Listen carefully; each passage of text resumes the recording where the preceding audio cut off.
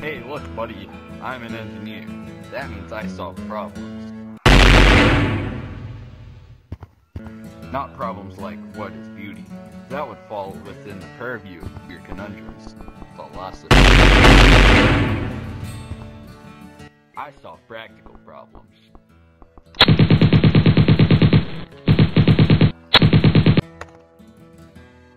Ah! For instance, how am I gonna stop some big mean mother hubber from tearing me a structurally superfluous new behind?